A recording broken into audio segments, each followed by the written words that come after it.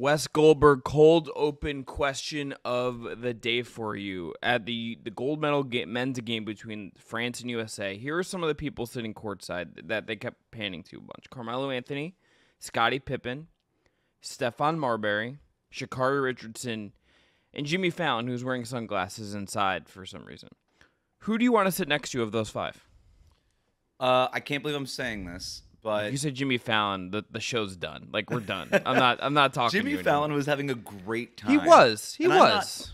I'm not necessarily a Jimmy Fallon guy. I'm not like Yeah. anti Jimmy Fallon either. He's not my favorite late night host, but uh, he seemed to be having the time of his life. And why was he wearing sunglasses? I think he was inebriated, which sounds Sure. awesome. That's uh, true. in terms of vibes. But no, I do think that the answer here is probably Carmelo Anthony, right? Yeah. Like he's got all the Yeah. experience uh, of playing for Team USA, obviously the NBA experience, knowing LeBron James and a lot of the guys on the team too. So I, I would probably pick Carmelo, but like Jimmy Fallon, I think he started in the upper bowl and then ended up courtside. They kept panning to him. Is the only reason I was was talking to following Emmanuel. his- He, he was talking to Emmanuel Macron. Like they were taking like a selfie together. I was like, "What is Right. happening? What is going Yeah. on?" That's that's when I knew that maybe he was a little bit under the uh, the liquid influence there a little bit. But Yeah. You know what? Forget it. I don't. I'm not gonna get bullied here. I'm sitting next to Jimmy Fallon. I'm sitting next to Jimmy Fallon. Carmelo Anthony's not gonna talk to me. Jimmy Fallon will talk to me. Because he's drunk. Um, I, Right. I think in the con- conceit of this question, Wes, I think I'm just assuming they're going to talk to you and chit chat and just be normal humans, you know. So my interest, Well, in Stephon that case, Mar- it's Stephon Marbury. Yes. Yeah, it's Stephon Marbury. Yeah. Stephon Marbury is wearing these crazy glasses. Right. I don't really know what those were. His sunglasses inside made me laugh. He's also just going to have stories at the wazoo. Yeah. and he's and he has played against some of these guys. He obviously like of a similar ilk, but been around a long time. Like just a basketball legend. It would also just be cool to be like, you know, I was randomly at the Paris games and talked to Stephon Marbury for a while. I would just like to tell Stephon Marbury, I had the Marburys, dude. Yeah, Thank you. yeah, Thank that's you. right. I The- got him at Payless. It feels wrong that none of us pick Sha'Carri Richardson because she literally is like a gold medalist and like one of our greatest athletes. I have right nothing now. in common with her. Like I would love to like I, to Yeah. me I would love to do a podcast with her. I would love to interview her and learn more about her and her life and her sport. But I don't like all I know is that you run. Like I don't I'm Yeah. not going to sit here and pretend that I know anything about that sport. I, I have no history. I have nothing. So I'd be like, look, I in terms of small talk, there's going to be very little common ground. Give me the NBA players. Give me Jimmy Fallon drunk. That's more of what I my speed. Yeah. I should not be next to Jimmy Fallon for this reason. I would think he's. I don't know, Wes. Have you ever watched Band of Brothers? You ever watched Yes. Band of Brothers? Okay. Jimmy Fallon being like a in that show when he drives, he's like driving like a supply delivery jeep at some point, and it's like it. He is so out of tone with everyone else in the show. Like Jimmy, why were you in? Like, how did this happen? You were really bad in Band of Brothers. I would personally need to be like, what are you talking to me about? I'm Jimmy Fallon. Like, I'm I'm, I'm much more successful, and I have a late night show. Be like Jimmy, you're he might agree that man." he was bad in Band of Brothers. There's a reason he doesn't do movies or shows anymore. Right? Yeah, it's like Fever Pitch and like his weird role in Band of Brothers, and it's like I watched done. Fever Pitch the other day, and when I say I watched it, I mean my wife put it on, and I walked Okay. into the living room, Okay. and it sucked me in. Okay. I watched it till the end, and I'm like, "Yep, this is how that movie ends." this is actually how you make peace with with Boston. Wes's Fever Pitch. That's what happened. I guess so. That's right. All right. On today's show, Olympics.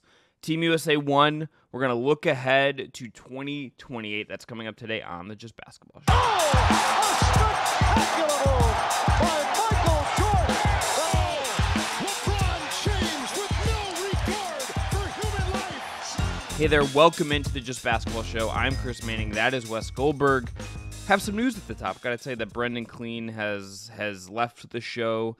Kind of Irish goodbye to his last episode is, is the way I would say it. But uh, Brendan here since the beginning with me, and you know was key in bringing Wes on key on a ton of different stuff. Just wanted to say shout out to Brendan. He's gonna kill it with Locked On Suns. Some stuff coming at Awful Announcing as well. Well, I'm sure yeah, he'll it's be good news for Brendan. It's it's Yeah. uh he got a promotion. He's leaving us behind. He's, Yeah. he's graduated from Fever Pitch to Late Night Show. That's right. He's he's the Jimmy Fallon of the Just Basketball Show. If he likes most it- people would agree with that. Yeah, that's right. So shout out to Brendan. I'm sure he'll be back at one point or another to talk about the the Phoenix Suns, who surely will have a normal NBA season this fall. I'm sure nothing weird will happen with that basketball team. But I want to remind you to follow, rate, and review on your podcast app platform of choice. Hit subscribe on the Just Basketball Fans YouTube channel. And check us out on TikTok, Instagram, and X. Want to tell you too that support for today's episode comes from BetMGM. If you haven't signed up for BetMGM yet, use bonus code Just Basketball, and you'll get up to a fifteen hundred dollar first bet offer on your first wager with BetMGM. Here is how it works. Step one.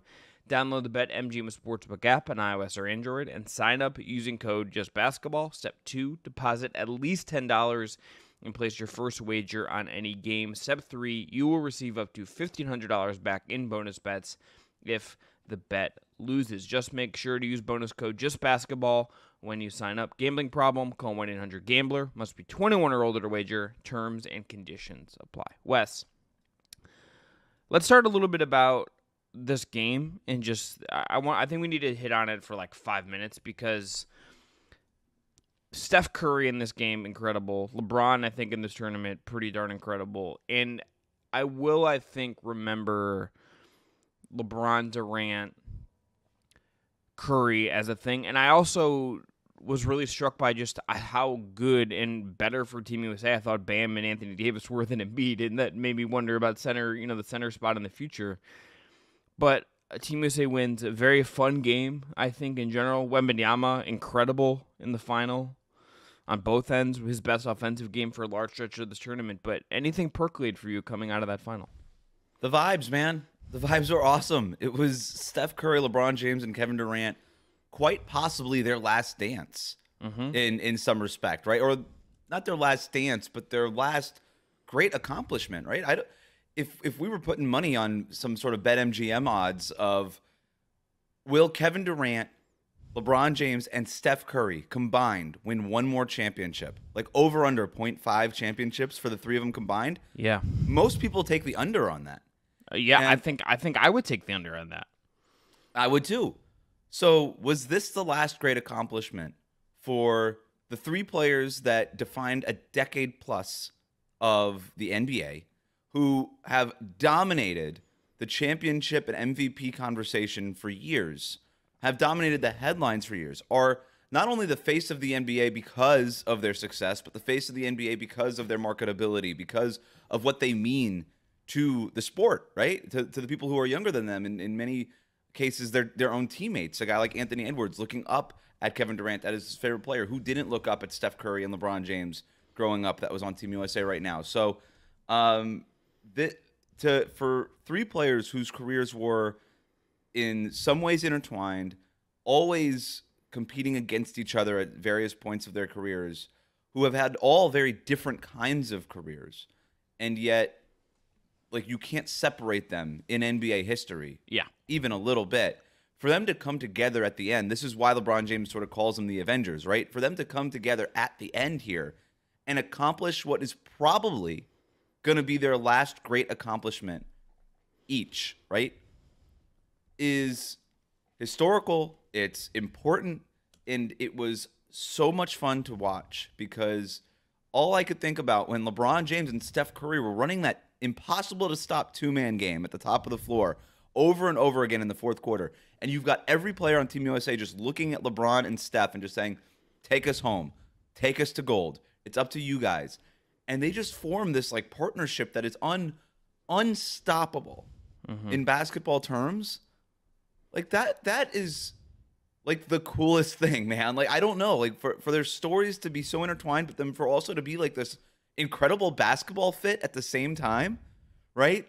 This it, it it's sort of wild. It kind of and it it just makes me think. I'm like, what could have been? Like, how do we get LeBron and Steph on the court together? Can we trade LeBron to the Warriors? Can we trade Steph to the Lakers? Can we put these two guys on the same team? How do we? How do what can I see more of this? Because I'm not ready for this to end, but that it is going to end. Yeah. and that's what makes it so special. Yeah, two things I'll say on that, and then I, I have a list for you of, of combos I want to see of guys playing together coming out of this tournament. I, I had this thought thinking about it. Number one, um, seeing considering how like tense it was at times during their finals matchups, to see LeBron and Curry hitting the sleep together is just like one of the wildest things. I did, I did peek.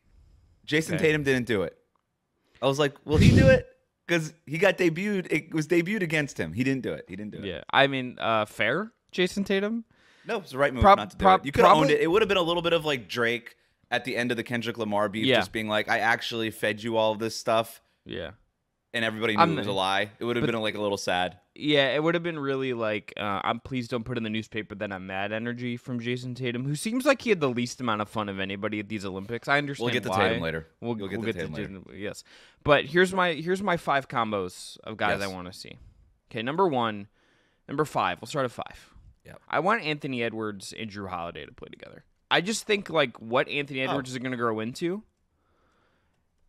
Like pri- like Jrue Holiday, if he's not going to be with the Celtics, I think that would be like the great thing I would want to see with him is like give me Jrue Holiday as this like combo guard who can hit spot up shots, but doesn't really need to play traditional point guard. His Ant ascends to just having the ball all the time. Mhm. I kind of want that and defensive coverage for him. That was my that was my first thought. It's a good combo, right? It's a little bit of evolved form of Mike Conley and Anthony Edwards, right? You just get a little bit of a better defender, about the same as a three point shooter, but you got a guy who can hold his own defensively, and then you put Edwards and, and Jrue Holiday in the backcourt defensively. That's a nightmare for opponents. So it's a good combo. Number four, Devin Booker and Bam Adebayo. These guys are just about. How is this right only fit. number four? Okay, Bec- keep bec- going. because because I have like more nostalgic pulls for the top of this list is what I'm gonna say. Like number one, you can already get. I am sure you can already guess what This it is my number one. Okay. I, I figured this is number one. This is also I, I thought of you, and I think this as like two dudes who seem just wired the same way, Wes. Yep. Like about it. Like Booker will talk about more. Um, as we think about the future and think about guys who, you know, shape themselves by these Olympics, I came away just more impressed by him than just about anybody on this roster and what I thought he was capable of. Really good performance from Booker. Him and Bam together the two man game for them would be incredible. The the handoffs, the passing, the the smarts, the tough. Like I would love a, a Booker Bam combo. That would be great. Both are Kentucky guys. Yep. if Devin Booker is looking for stability after playing for about 20 different head coaches during his eight year NBA career, uh, go to the place that just signed their head coach to an eight year extension and has been has had the same ownership and the same guy at the top since the late 80s. Uh, if you want stability, Devin Booker, I know a place. Called Miami. I did see a clip of Devin Booker doing like some like podcast on a golf course where he told me he said he thought he was getting drafted by Miami. He I did. did see that. Yeah. Yeah, he thought he was going to get drafted by Miami. He had a great workout with the Heat.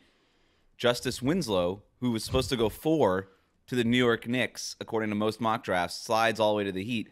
They did not interview Justice Winslow prior to the draft, but they were so surprised that Winslow was still there. And this is on the heels of LeBron James leaving. They were looking sort of for their small forward of the future. They went ahead and took Justice Winslow over Devin Booker. It's one of the great what ifs. It really is. Now, had they taken Devin Booker two years later, probably not in position to take Bam Adebayo because Devin Booker was so good so quickly. So, whatever. But that's a whole. That's like a locked on Heat episode. I don't have to do all Yeah. that. Go ahead. No, but it's good. It's a good alternative. Number three, Katie and Ant. Katie and Ant are just like spirit animals of different eras. That's it. I just those guys playing together and acting like themselves.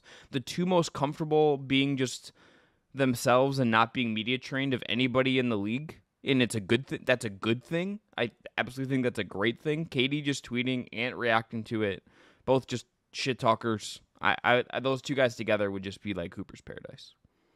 Yep. Kevin Durant, underrated trash talker. Yeah. He is always chatting on the court, and obviously Anthony Edwards is too. This is, this list is kind of a, about Steph. So number two is going to be Jrue Holiday and Steph. This is probably too high ah, for this. boring. I know. A, such a basketball nerd. Yes, this is Drew really where Holiday and Booker. Steph. Jrue Holiday should not have been in two spots on your top five list here. Come on. That's fair. Devin Booker and Bam should have been two. Number one, LeBron and Steph. This is the There easiest is. one. Yes, that's it. LeBron and Steph. I can't believe I'm saying this as someone who like watched those Warriors Cavs series, but watching every they only did it like a couple times a game. It, it was something that I think in like a NBA context you would have just seen spammed over and over again. It's one of the differences between you know international ball and NBA ball.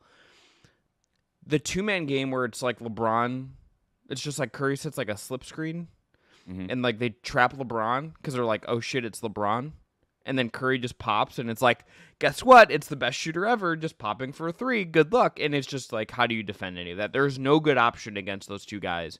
You could put a a guy in the a center of the dunker spot whose job is to offensive rebound and defend. Like you could, and you put two other like three and D wings around them, and you just run that action 900 times, and I don't think teams would find a good answer to stop it.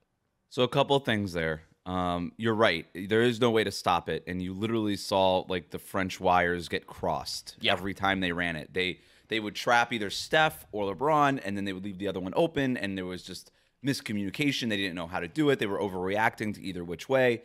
It never worked. It never worked. And then it did work. It finally worked. After Steph hit three straight three pointers in the fourth quarter, they finally trapped Steph at the top of the at the top of the floor at the right time, timed it right, got him to pick up his dribble, and then what did he do? He hit the craziest shot Steph Curry has ever hit in his life, falling away three pointer to as the dagger to win the gold medal. So even when you do do the right thing to stop it, it doesn't matter because Steph Curry is still Steph Curry. He he hit the shot that he missed over Kevin Love in Game Seven of 2016. Is the shot? Is basically the shot that he just hit. It's the Over a falling second away. person too. yeah. over a second. It's like he hit he hit the shot that he was like too fatigued to hit. And this, it's like, oh, I'm not. I'm Steph Curry, and I'm absolutely rolling. yeah, it, it was it was an unreal shot. Um, it so that's the first thing. It is an unstoppable two man game. The the second thing is, isn't this what the Bucks envisioned Giannis and Damian Lillard were supposed to be? Now a it's version not of a more blunt. Fo- I think it's like a more blunt force. That the honest Dame is a more blunt force version of it. I think. right. Giannis isn't the passer or the even the outside shooter that LeBron is. So there is a little bit of a limitation there, but he's huge. And if you do help off him even a little bit, then you're giving him, you know, the drive lane, the driving lane to the basket, which you just can't give him. Uh, and so, yeah, if I'm if I'm Doc Rivers, I'm watching this and I'm like, oh yeah, this is why I'm supposed. This is why everybody on Twitter is like, why isn't this not every single play? Why are you not running the Damian Lillard, Giannis two man game every single play? Now, Steph Curry, most underrated part I think of his career has been how willing of a screener he is. Yeah. I just don't know that Damian Lillard is that willing of a screener. Giannis is not even that willing of a screener, except for only recently has he sort of picked that up a little bit more. LeBron James, a very willing screener. Steph Yes. Curry, a very willing screener because they understand what it does for them, right? Like, okay, if I just set this screen, everything else is going to open up for me and my teammates, and then I'm, and that sets everything up. Uh, I don't know. I would love to just get an honest answer from some of these NBA players about like, you know it works. Why don't you do it more? Like, why are you not? It's the same thing about off-ball movement. Like, why do you? Why do players just stand there sometimes? It's It- a great. it- it's a great question. I, I understand that like easy for me to say in my desk chair doing a podcast. I'm not the one running around with and, and, and losing energy, but like that's sort of the point, right? Is you know get yourself into playing shape, get yourself into if somebody if these guys can do it, people can more people I think can do it, right? And so I don't know. That's a whole other side. But that's really the thing that unlocks it. It's not just the three point shooting. It's not just the, the the genius basketball IQ from LeBron James. It's the fact that they're willing to do those little things to make that big thing work. Yeah, and you, you just imagine like what they would do, and like them, it would be like with them getting the best chance they could to actually try to win something down the stretch here. That would be it, right? Like if they Yeah. paired together, I would pick them to win the championship. I would just be like, you know what? I don't care. I'm not going to overthink it. It's the two greatest players of the generation, two of the smartest players of this generation. They'll figure it out, and it's unstoppable. But what team would it be more fun for them to be on? Would it be A, the Lakers, B, the Warriors, and never mind how it happens or what the trade is. That's not A, the Lakers, B, the Warriors, C, mystery team number three. I think it's the Lakers. I think it's like they fight you because it's. I think I, I'm thinking of like who's the third guy, and I'd rather have AD than Draymond. Mm. Hmm. AD's a better player than Draymond. I think AD From an this- entertainment perspective. Dray, Draymond and LeBron also has like the bromance with Draymond now, which is also Right. very weird. It's almost weird. Also, Draymond being in the photo where Steph's running down the court, and then Yes. you realize that like Draymond's the guy with his arms, like it's incredible stuff. Good for Draymond Green. I think AD being like the big who, you know, not as much of a, a passer as Draymond, but just more of an offensive threat. Um, a little less volatile. Sure. I think Better just a better, defensively at this point. yeah, just a better defender at this point. I, I would take AD. Yeah. Yeah, no doubt about it.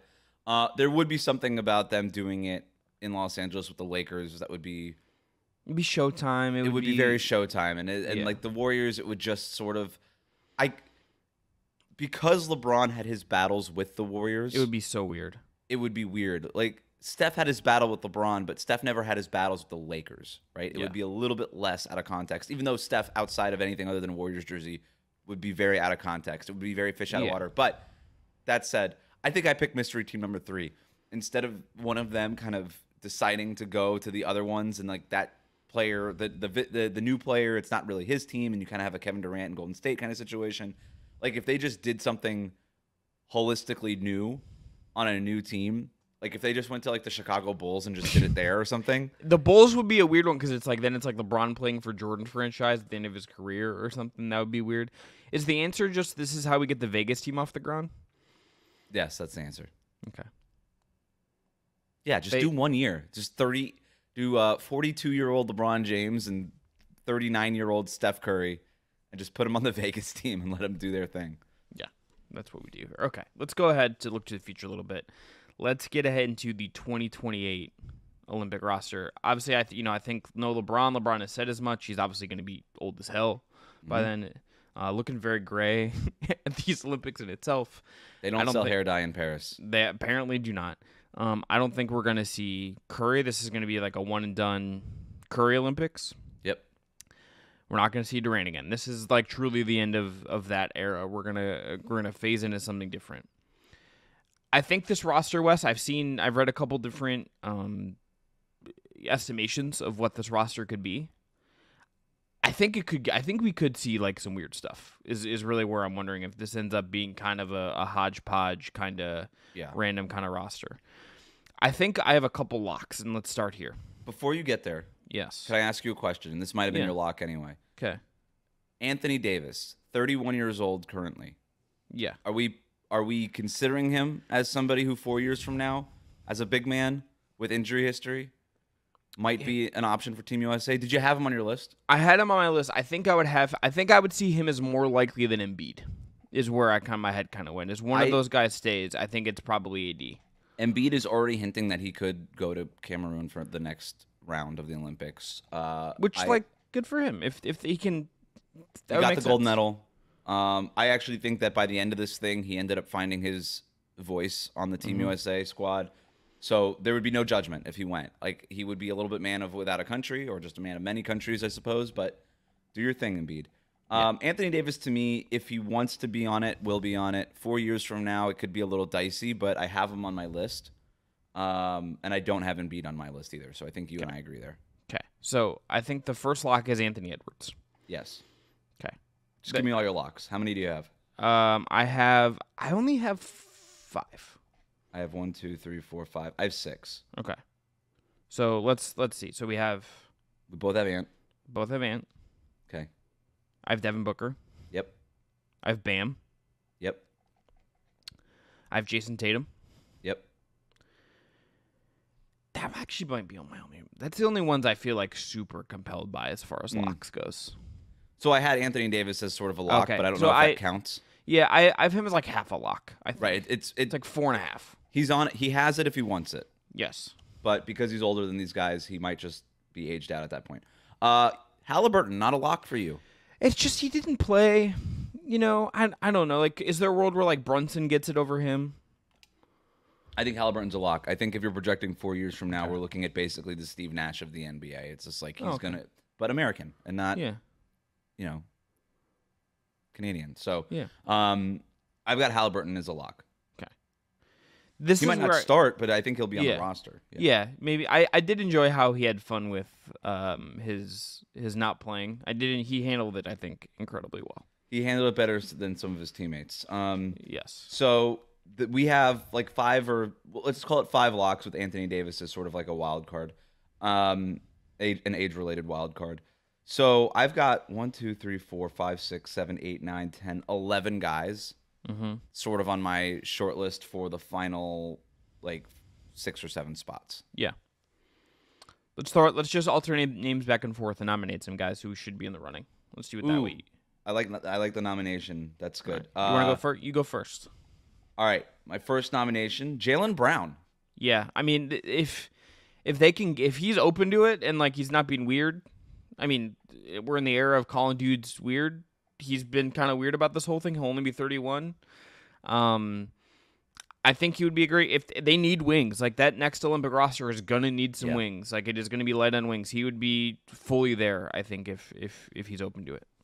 Yeah, I mean, look, there's the whole history between him and Grant Hill now, who runs Yeah. Team USA. If he's willing to bury the hatchet and put that behind him, you're absolutely right. This team is going to need wings, and it kind of like my the, when I'm looking at this roster, regardless of who the next group is, beyond the locks that we have, when I look at it, I'm like, okay, well, who is the LeBron James, Steph Curry, Kevin Durant of this group? I, I think we might be exiting a golden era of Team USA basketball and entering a new area era that's a little bit more questionable. That said, we have four years for guys like Devin Booker, Anthony Edwards, Jayson Tatum, Bam Adebayo, like these guys to just Tyrese Halliburton to get better and to kind of, you know, take the reins of what LeBron James, Steph Curry, and Kevin Durant are leaving behind here. Um, there's questions about whether or not Steve Kerr is even going to be the head coach of this team. I guess we could like that that part we could figure out, but Also, a golden generation of, of coaching when it's like you see Kerr, Spo, and Ty Lue, the three best coaches in the NBA for my money, Yeah. Sitting next to each other, drawing up game plans. It's just like, holy shit. Like, that's incredible. So I think you know Jayson Tatum already has the one championship. If they if the Celtics win another one, he could go from basically DNP-CDs out of the rotation in the Olympics to maybe being the guy mm-hmm. in the Olympics. That's a very real possibility for Jayson Tatum. And then if you add his teammate Jaylen Brown to the mix, who could be I mean, you could already argue they are the best wing duo in the NBA. They will obviously be the best wing duo in the NBA 4 years from now, more likely than not, I should say. So there's a world where it was Jayson Tatum like out of the rotation just because the job he needs to have for Team USA is sort of the job that LeBron James already had. Big wing who can handle the ball and just sort of set the table for everybody else. I do wonder if the next Olympics is Jayson Tatum's Olympics, you know, It, for Team yeah, USA. It, it might be, and it, it might maybe depends on coach a little bit, something like that. But I, I think it's very possible that he is is there. So I And most people, I think, would say Anthony Edwards is is is the next face of Team You would USA. think. I think most people are just ready to anoint him. I love Anthony Edwards. This is not like an anti-Anthony Edwards thing. I just tend to be a little bit more cautious of anointing the guy who hasn't really accomplished anything other than going to one Western Conference Finals over the guy who's Yeah. more seasoned and has the championship credentials already. I'm just going to say it could be Ant and Tatum. it could also be Booker. What I would say.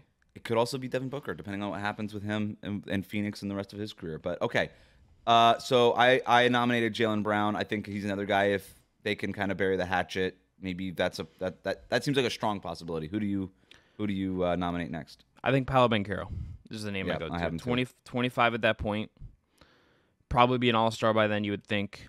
Probably should play the World Cup the next time through. Think he should be one of the main guys on that roster. Yeah. This just feels like big wing, scorer, bucket getter. Just feels like the biggest obvious need filler of anyone that they could go get for the next cycle. Uh, again, like Tatum, sort of a, a playmaking pow- uh, forward with size. That's the thing that kept working over and over again for Team USA and FIBA is that our best playmakers were also some of our biggest players. And there's not a lot of, other than Serbia, basically, there's not another team in the tournament that can really say that. Other than maybe, I guess Australia with Josh Giddey. And Josh Giddey's like six six, six seven, whatever Yeah. he is. But you know what I'm talking about? Like these big wings who can just pass over all these switching defenses and size and all this stuff. So I had Banchero on my list. It's a good pick. Um, I'll go with I'll go with um, Jalen Brunson next. Yeah. If he keeps trending in this direction with the Knicks, he plays for the Knicks. He was part of the FIBA World Cup team. Didn't make this Team USA round, but um, looks like he's going to be one of the best 15 players in the NBA for a while. He's on this if he wants it, and just a a bucket getter that this team is going to need. Yeah, I think 100% that's true.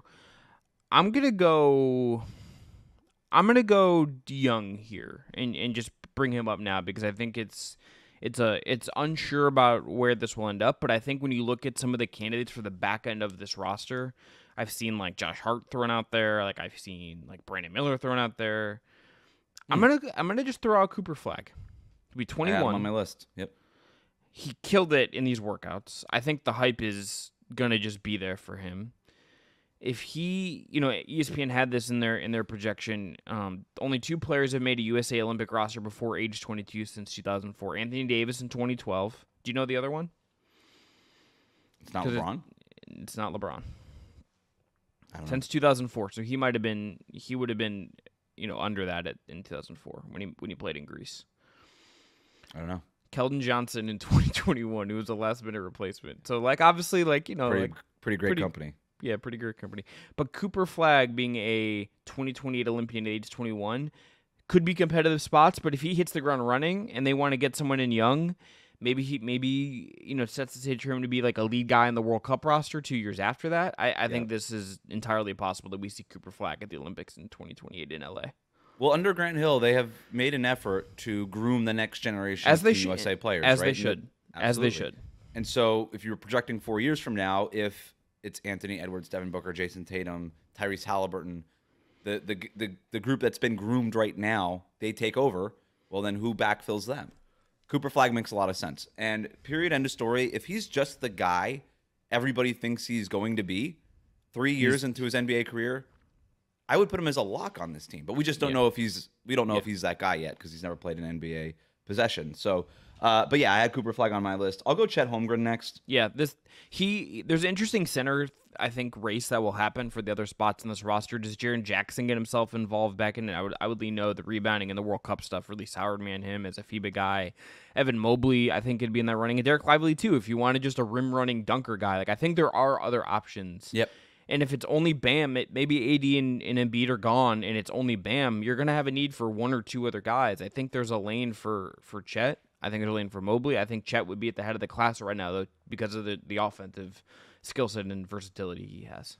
Right, he could shoot from outside. Is he even going to be considered a center Yeah, four years from now? Right, you're playing now with Isaiah Hartenstein, who's under contract for three more years. Is that something that Oklahoma City does? I don't know that. I mean, is is is that the starting front court? Is that the closing front court? Whatever. But is Chet looked at more as a power forward, maybe? At this stage of his career, where you could play him with Bam Adebayo, right, because of the shooting and all that kind of stuff. Um, I think Dereck Lively is also a great option. Evan Mobley obviously is a great option. It really just depends on how the next few years go for all those guys. But I think Jaren Jackson Jr. I wouldn't rule him out either, especially if Anthony Davis is off the team by then and you're looking for something similar in terms of we need a like a shot blocking center who can be with Bam because as good as great as Bam is defensively, he's not a shot blocking center. He's not really he doesn't provide a ton of size. So if you're looking for somebody a little bit bigger who can kind of just protect the rim and then have Bam do what he did for Team USA, which is play more of a power forward, be a little bit more versatile defensively, get out, switch onto the perimeter, do all these other things that he does so well, then maybe you're looking for more of that traditional seven footer. And if that's the case, you could go Chet, you could go Mobley, you can go Dereck Lively, Jaren Jackson Jr. I think all of those guys would be options. yeah, I think that's that's right. All right, um, I'm gonna throw out a name that I'm not sure about, but I think he's worth discussing. That's Zion Williamson. I don't have him as a lock. I'm not even sure. There's a, I think there's a there's a at least a couple other names I would throw out ahead of him as far as my confidence in that they'll they'll be there. But if Zion is healthy the next couple years, and he's physically where we know him to be, and he's as good as we know as he can be, and maybe the the defense comes around and and all of that, would he not just be like a great wrecking ball in FIBA and a pretty good fit on this roster for what they're going to need? Like if he is right, Zion on Team USA at age 28 makes all the sense in the world.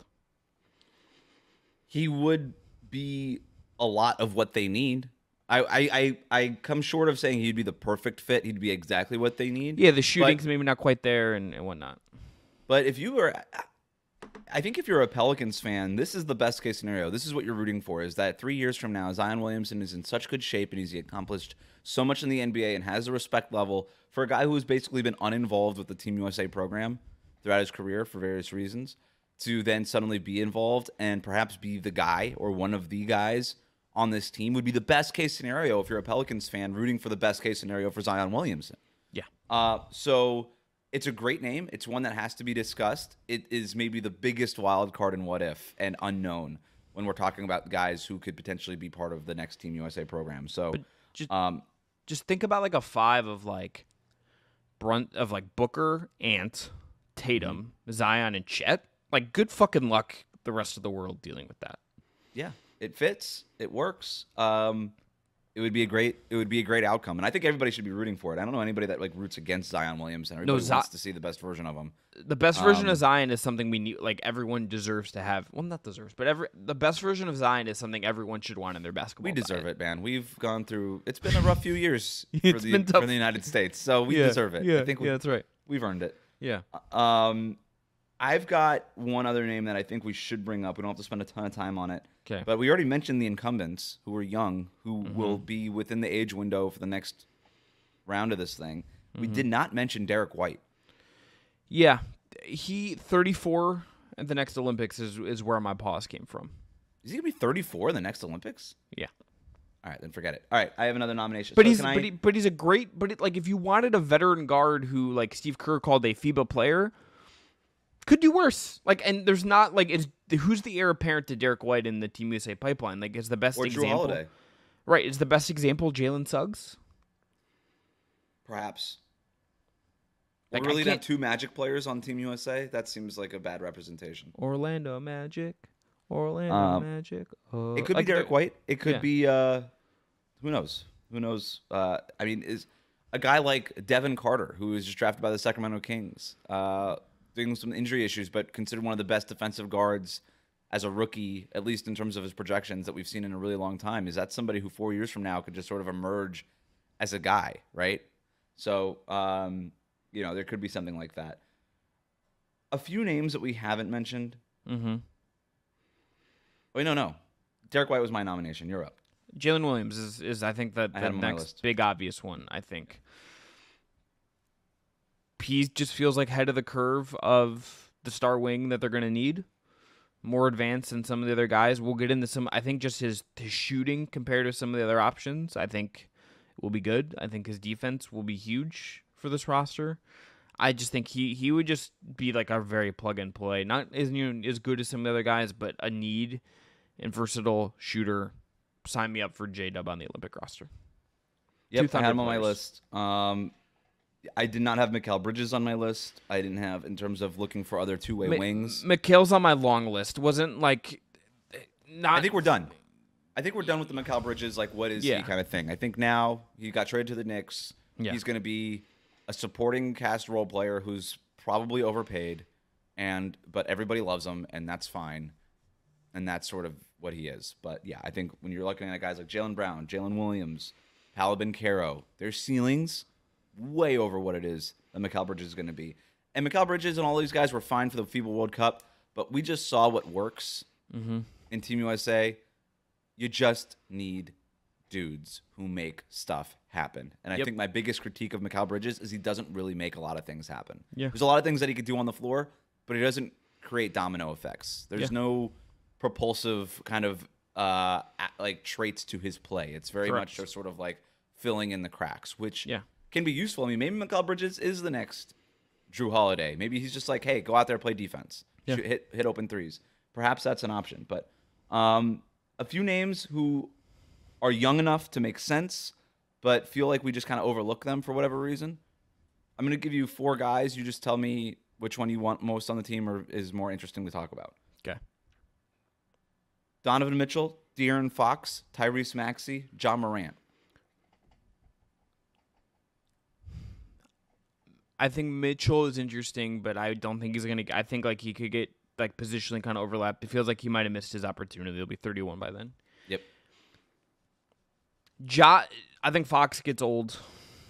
I think Ja's the I think Maxey feels like the one that I would bet most on making it, but I think Ja's the most interesting one to talk about. I think Ja versus Maxey as like a who gets there kind of thing would be fascinating. Give you different things. Maxey a better shooter, Ja more of a, a playmaker for others. Um, downhill gives you transition buckets. Could that could him as a driving kick guy in FIBA and a, and a rim attacker be really huge? Both maybe defensive concerns based on their size in FIBA. But that that's like feels like a, a quasi race for one of the point guard spots on this roster. The Ja Morant thing is the more interesting one to talk about because we're less than 24 months removed from talking about Ja Morant possibly being the next face of the NBA. Yeah. And when you look at the next wave after LeBron James, Steph Curry, and Kevin Durant, it would make sense. Okay, whoever the face of the NBA is needs to be on the Team USA roster. The American face of the NBA needs to be on the Team USA roster. And it kind of feels like Anthony Edwards stole Ja Morant's lunch money a little bit, right? Where it was Ja Morant two years ago was like the next face of the NBA, and then one year later, it's Anthony Edwards is the next face of the NBA. Yeah, it, it was a combo of Ant being the most charismatic human and, and awesome at basketball, and then Ja doing a lot of very dumb things and getting hurt and then keeping him Ja took himself. an yeah, yeah, He, he took himself out of the equation for various reasons, and I do think that the rehabilitation tour of Ja Morant is going to be really important. I don't see really how Ja Morant and Anthony Edwards play together. Nope. That to me is a rough basketball fit. Now maybe that's different four years from now. They both of their games revolve respect evolve respectively or something like that. But it it is going to be really interesting to see what happens with Ja Morant and specifically Ja Morant versus Anthony Edwards going forward because that does feel like a race. We I think we forget how awesome Ja Morant was. Yeah. He was better than Anthony Edwards was. Like Ja Morant in his best season has been better than Anthony Edwards in his best season. I think we're all projecting forward Anthony Edwards to pace, be one of the best five guys in the NBA, and that's fine if that's the projection forward. But based on what they've accomplished so far, Ja Morant has been the better NBA player. And he comes back. How much of what he was does does he is he still right? Is, Yeah. Can he and can he build on it? And if he can, the race to be the next great American guard is still open if Ja Morant can, you know, reestablish what he was prior to the injury, which we again just sort of gloss over. The guy got hurt for with a season-ending injury, mm-hmm. and and all the off the court stuff, which is just hard to come back from. I mean, health wise or not, it's just it's rare you have seen an athlete in any sport deal with Ja- what Ja Morant has dealt with off the court and just come back and be the same guy, right? I think about like Tiger Woods, Thanksgiving. You know what I mean? It's it's hard to come back from sort of being rattled in that way. So that said, if Ja Morant does sort of reestablish himself as one of the faces of the league, you have to put him on the Team USA roster. But then if you do put him on the Team USA roster, where's the fit between him and Anthony Edwards? Who is sort of the lead guy? Where like who's the alpha of that group? I, I think it's a fascinating question because they don't work together on the court. They can't play them together. Yeah, like Right? Booker and Ant would be a better fit because like Booker can Easily. play point and like defensively, it almost feels like Ja Shooting. might be like yeah, Ja might be like a super sub on Team USA. Like you might just be like a, a nuclear bomb you throw on throw on the court. It would be, be like, it, go it could be a little bit of like what Jayson Tatum was, where yeah, we don't doubt you're one of the best seven guys on the roster, but we just don't have a place to put you, Yeah, you know. And so, but it would just it would be, but if like again, if Ja Morant becomes what we all thought he was going to be 24 months ago, it would be wild for that to be the result here. yeah. I'm gonna just list you out a bunch of names. We can we can end here on on this. Just Okay. name you. Tell me if there's anyone you, you feel like talking about. Scottie Barnes, I think should should be in the running. Cade Pass. Cunningham in the running. Pass. Not not passing for Team USA, passing in terms of I just don't want to talk Yeah, about him. yeah. Here's the the four select guys from the 2021 2023 draft, excuse me. Brandon Miller, Jaime Jaquez Jr., Brandin Podziemski, and Amen Thompson. Those were the four select guys. So I think if they're on that select roster, that tells you that Team USA is considering them. And then you have Trey Murphy, you have Jalen Suggs, and you have Evan Mobley. Those are the the end of the guys that I think are are kind of like on the fringes here. All good names. Um, not terribly motivated to talk about any of them. I mean, I think it like the the Jaime Jaquez Podziemski thing. Was this like? Did they just hit the hardest part of their developmental curve and they just sort of plateau a little bit from here? Do they become the superstar players, the all-star players that the Warriors are talking about? Pods can be that the Heat hope that Jaime Jaquez Jr. can be. If that's the case, then yeah, maybe they have a chance. Trey Murphy the third seems like a guy who, again, depending on how the roster lays out, if you're looking for your next Derrick White, he could possibly be that. Just a guy Yeah. plug and play, play great Herb- defense, hit open Herb, threes. I've seen Herb Jones thrown out there as well in that one. If it a could, little bit I of just a tougher fit, but yeah, I, I think you're just gonna see like a role player on that. I, I would project you're gonna see one or two just like guys we think of as like role guy, like uh, Jalen Suggs and Herb Jones, or Jalen Suggs and Trey Murphy, unless Trey Murphy ascends to like fringe All Star status. Like I think we're gonna get something kind of kind of random like that. And the great thing about this is we could project forward, and we probably have a pretty good idea. But somebody, nobody would have had Derrick White on this team four years ago. You know, like somebody is going to just take this leap that we didn't expect and be a part of a winning team, be a part of a championship team, which is why I think like betting on a team like Minnesota or Oklahoma City, teams with like these great young cores, even like a Houston. Is there somebody from this Rockets squad that just sort of becomes that guy Yeah. who you just feel like you need to have on this uh, on the Team USA roster? I don't know. I, I think it, it would be it's going to be fascinating to see like who's that wild card that we're not even talking about that you and I did not even mention that just sort of leaps up and and becomes one of these guys. Yeah. So Wes, we we have a list, and we're let's got to hear on that list. You have a list here. Tell I us do. about the list. So, again, kind of maybe putting a bow on the whole Olympic experience here. I had the top five guys that the Olympics helped the most in terms of their careers, their Q rating, and all these things. Okay. Number five is Bam Adebayo. Yeah. I this was a tremendous Olympics for him. I think, and I've made this argument before, in a weird way, this might have been Bam's coming out party to the rest of the world because he's a three-time All-Star, Defensive Player of the Year finalist, first team All Defense last year, been in the finals twice, and yet it still feels like the the more casual NBA watching world doesn't fully appreciate how good of a player Bam Adebayo is. If I polled like casual to even like watching every other night NBA fans and asked, is Bam Adebayo one of the best 15 players in the NBA? They would say absolutely not. And I would put Bam in the top 15 in the NBA. And I I, would feel pretty he's top close. 20 for sure. Yeah. I, I can reframe it to top 20 and I'd still think I get the, the same Yeah. answer. No, he's not a top 20 Yeah. player. But the list of guys who averaged 19 points, 10 rebounds, 3 assists and 2 stocks last year on 50% shooting is Joel Embiid, Nikola Jokic, Giannis, and Bam. That's it. Yeah. That's the list. Like he is an elite company, and he's putting up 20 points per game while playing Defensive Player of the Year caliber defense for the last five years. There's just what he's doing on both ends is is without without comparison in the league, except for like a guy like Anthony Davis or or Giannis, and we consider both of those guys easy consensus top 10 guys in the NBA. And yet Bam is just sort of left out of that conversation. I'm not saying he should be in the top 10. I'm just saying he's kind of just not really thought about in that way. Until I think now, where Team USA, where Bam is getting minutes over Jayson Tatum, who just won a championship pretty consistently. He's consistently closing games, part of Team USA's best lineups, part of the most important fourth quarter stretches for Team USA. I think people have realized how important and how special Bam is. Even when he's only scoring like two points a game in a lot of these Olympic games, they are seeing all the other things that he does really well. So I've got Bam at number five. These two just, are kind of just, want to say plus six. Uh, the first odds for in July for defensive player of the year this year for NBA. Here's the top five: Wemby minus two fifty, Gobert plus thirteen hundred, Chet plus fifteen hundred, Bam plus sixteen hundred, and Giannis plus sixteen hundred. Um, I might be throwing a unit or half a unit on on Bam. I just think he's gonna get one at some point. He's that good.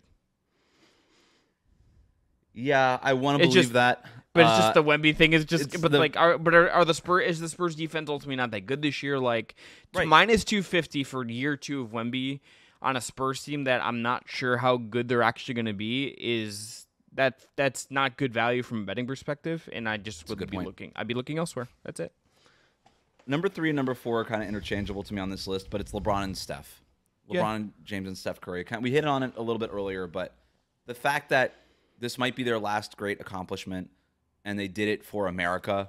And I do think that there's a little bit of how good are they really? We didn't really know anymore because the Warriors and the Lakers weren't really playing for anything. But to see LeBron James be the best guy at 39 years old on Team USA, which was just loaded, a team loaded with the best guys, mm-hmm. and all of them just look to LeBron and Steph at the end of this thing, just reaffirms that these are two like when all the chips are in the middle of the table, when push comes to shove, when you're when you need a bucket, when you need something to happen, they're still the guys with a capital T and a capital G. They just are. And that says so much about LeBron James and Steph Curry historically, but it says a lot about where they are still right now. And I would, to me, it was amazing to watch LeBron and Steph play for something because Yes. it might, we haven't really seen them play for anything since 2022. Well, LeBron was in the conference finals two years ago, but nobody really thought they were going to beat Denver. Um, and we might not ever see them play for anything with this high stakes ever again. That's the thing. And and to watch them do it again and just be like, oh, oh, they could still get there. Just because LeBron doesn't play defense for an average Lakers team doesn't mean he can't play defense when it really matters. Just because we haven't seen Steph do this since 2022 doesn't mean he can't still do it. Um, it was a good win for them in their own careers, and I think both people. If you ever had either LeBron or Steph outside of your top ten in terms of you know top NBA players, you got to put them back in it now. You can't. You cannot take LeBron and Steph out of your top ten. Those are still two of the best ten players in the NBA. I don't care who else is the other eight. Those two guys got to be in there. Uh, You had moments of this tournament for me where I just looked and thought, "Are are we sure? Am I sure that this isn't still the best player in the world?" like for both of them, and it's just like, holy shit, they're old and like their teams aren't really that good, and I'm just like, "Are- we sure? Like, are we sure I have been on LeBron is this- the best player in the world? I have been on this so much. I don't know that LeBron is the best player in the world. I know that he is the only player I'd want to give the ball to. In, and still at 39 years old, game seven of an NBA Finals game in the last minute, I want I I would feel more comfortable with the ball in LeBron's hands than anybody else's. And I don't know what that means in terms of number one, number two, whatever, best in the world, whatever it is. I just know that he is the guy that I want handling the ball. He And whatever a- that means is that that's what that means. He hit a three. I think it was against France, where it was like they needed just a three to calm things down, and it's the Mm-hmm. classic LeBron thing where like you know he, he's hit, you know he's gotten better as a three point shooter as he's gotten older. But it, he always feels like he hits the threes where it's like you need something just to calm everybody down, and he Mm-hmm. just like created a little bit of room and hits a pull up three, and it's just so calm, and it's like I think he's gonna hit that shot ten times out of ten, and there's no one else in the world that I think is always gonna hit that shot. Number two is Devin Booker.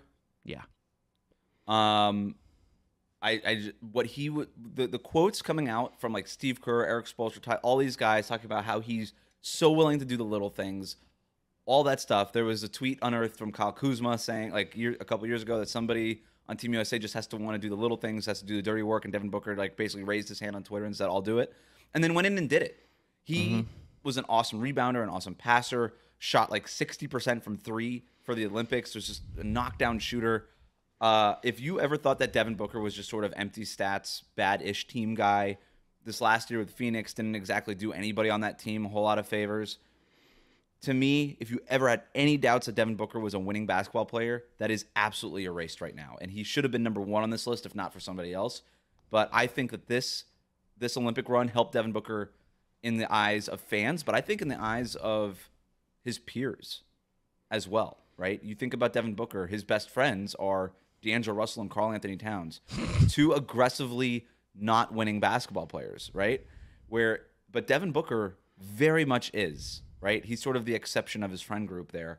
And I think you have to look at him and just be like, oh, this guy has all the things that it's going to take to win a championship. This guy's a championship caliber basketball player. I think among people that aren't like hardcore watching basketball all the time, Wes, I think he might be the most misunderstood star player. Mm-hmm. He is tough. He is smart. He is rugged. He's a really good passer. He's just one of the best like ten players in the world, and he's doing all the stuff. And I, I, my think, my think after this Olympic cycle, I think my belief of what his ceiling is and what he could be this year and what that means for the Suns, I, I I'm kind of talking myself into Devin Booker and the Suns doing something amazing this year. I don't know if I actually believe that or not, but I'm I'm kind of buying in. I really do buy. I've come to buy like Team USA can correlate to something bigger if you do it really well, and Booker carried himself just in the best way possible. So I'm I'm excited. Number one on my list is Kevin Durant. Okay, I think I would have had Booker one, so make the case for Durant at one. This to me is more of a legacy thing, and when we're talking about legacy versus just where the player is now in their career, I just think legacy wins in terms of importance. But since I mean, the, Kevin Durant has now won more gold medals for Team USA basketball than any other men's player of all time. Right? He has more. LeBron James and him, I think, are the only players with four medals. One of LeBron's is a bronze. Kevin Durant has four golds. Um, since the last time he won his last gold medal, though, the 2020 Tokyo Olympics. This is what has happened to Kevin Durant in his career. He went to Brooklyn and it flamed out disastrously. He forces a trade to Phoenix. The Phoenix Suns thing is not working after a year and a half. It just he's already gone through three different coaches uh, in Phoenix. The the team seems to be a little you know strapped in terms of what it is that they're going to be able to do flexibility. I think there's a real question about whether or not Kevin Durant made the right move back you know a year before the 2020 Tokyo Olympics when he left the Golden State. It's like okay, it just nothing has basically worked out for this guy other than winning the gold medal in Tokyo, right? Yeah. Nothing for this guy's career has really worked out in terms of what the expectations at least were for Kevin Durant. And four years later, he goes and wins a gold medal and is playing a huge role for a team, willingly coming off the bench, starts in the last game against France, but willingly comes off a bench bench for the majority of this run, and it doesn't matter. He's closing every game. He's one of the three guys between him, LeBron, and Steph. And I think this helped a lot in terms of reviving his reputation within the basketball world. It's, and I've made this point before, but Kevin Durant to me is the superstar with no home, mm-hmm. right? He's he's not really of the Oklahoma City Thunder. He's not of the Golden State Warriors. He's not of the Brooklyn Nets. He's not of the Phoenix Suns. To me, when I think of Kevin Durant, when it's all said and done, we might just think of him as an American, mean, as mo- Team USA, right? Most gold medals of any men's player, if I'm not mistaken. Four. Correct. Yes. And so he it, and, and the point all time leader in points for, in Team USA men's and women's basketball. So he has accomplished more for Team USA than he has accomplished for any other team in the NBA. And I just think that this Olympics and this is going to be his last round really cemented that, right? Mm-hmm. He became the all-time leader in points this run. He got that fourth gold, gold medal obviously on this run. And so this was maybe his most important Olympic experience also. And so I, I just think that for him, it it feels like his career was so much of a what if, right? And it just feels like so many things could have happened better for Kevin Durant throughout his career, which sounds mm-hmm. crazy considering how great his career was. But his Team USA experience has been a dream experience. There's been nothing wrong with his Team USA experience. For all the what ifs we might have in Kevin Durant's NBA career, we are left with zero what ifs for Kevin Durant in his Team USA career. It's a great take. I would go Booker one, but I think you've made a very compelling case for Durant at one. Very good. We should just note Team USA women won again, Yes. most dominant team in U.S. history. Um, and A'ja Wilson going through a very well executed, uh, very media trained interview, and then they ask her about Kahleah Copper, and she goes, "That bitch." Yep. Great stuff, A'ja Wilson. Just great stuff. Yep. That game also incredible, very tense. Shout out to France, Gabby Williams, and Marine Johannès, and that team just really put up an incredible fight. But American Foot dominance line. is Unreal. Uh, they they got KD'd. They got KD'd. They got KD'd. See, that also happened between the last Tokyo Olympics. Yeah, the foot on the Olympics, line because his yep. damn foot's too big. But USA Olympics successful basketball 2028 will be exciting. Uh, frankly, excited for the 2026 World Cup and hoping the roster isn't weird. I want just like a a slightly star-studded roster. That's what I'm I'm gonna will into the. Can we get John Zion redemption tour 2026 World Cup? That's kind of what I want. It's gonna be. You know, it's not gonna be like on the top of my list of the things I'm thinking about over the next four years about who sort of No. emerges as I'm the gonna- next generation of Team USA. Yeah. But it is going to be a storyline, and it's Yeah. gonna be something that people think about every once in a while. And then four years from now, we'll do it all over again. Yeah, 2027. I think it'll kick in. We'll be like, okay, where we at? Yep. I think as we get older too, it's just like you start caring about this stuff randomly more. I Somebody on the Lakers is gonna have to be on it because it's in Los Angeles. yeah, no Laker or or Clipper. Somebody on the Lakers is gonna have to be. On it. Okay, okay, that's fair. LeBron. You know what? Like I honestly almost made the joke earlier. Like, okay, so Anthony Davis might be aged out. Steph Curry. Are we sure LeBron's not going to be on the 2028 Yeah. Olympic team? Like, He he said he's much playing? no, but it's, it's Yeah, I know. yeah, it's just but Bronny, maybe Bronny. that that's actually Contract the, year. That's actually the Derrick White succession plan is Bronny. That'd be great, actually. Be funny. Yeah. Be uh, it's actually Bryce. Bryce will be what two years into his NBA career as a second round pick. Yeah, I have no idea. We're there. Uh, no Laker in LA would be like bizarre. Maybe it's an international Laker. Maybe it's Austin Reaves. Didn't bring him up. Maybe I'm trying to think of like who.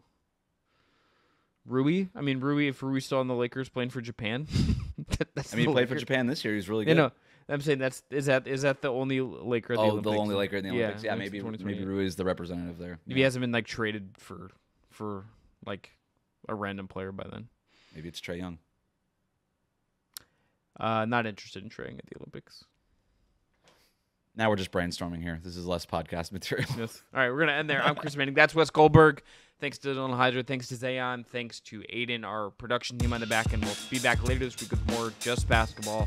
Probably looking a little bit ahead to next season and, and what else could still to come. But more later this week. Thanks to BetMGM for support for today's show. We'll talk to you soon.